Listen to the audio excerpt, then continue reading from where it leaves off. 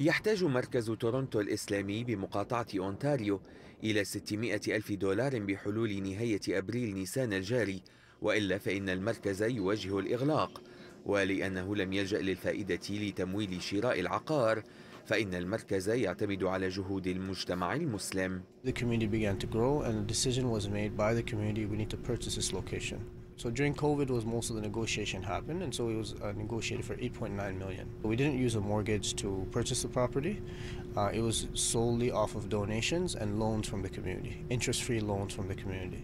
يقول القائمون على المسجد إن المصلين الذين يأتون إليه من مشارب متنوعة كثير منهم الشباب ومنهم الموظفون وبعض ممن تحدثنا إليهم أكدوا لنا أن هذا المكان أكثر من مجرد مسجد أو مركز مجتمعي بل هو بمثابة البيت.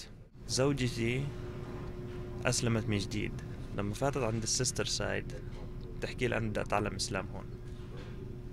فهو part من روتين حياتنا اليومي إحنا بنيجي على هذا الجامع عشان نتعلم عن الإسلام. بالنسبة بالنسبة إلي إنه يغلق هذا المكان إنه يسكر هذا راح يأثر عليك حتى كعائلة. بإذن الله بإذن الله الخير في أمتي.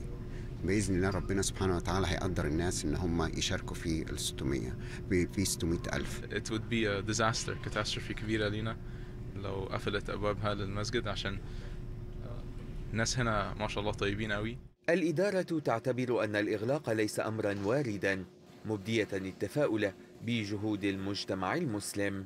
That's not an option. That really is not an option.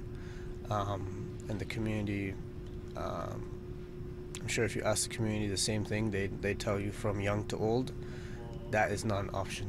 We have had people, like random, like just situations where people walk in, oh, I heard about the mosque, here's a hundred thousand. I heard about the mosque, here's 300,000.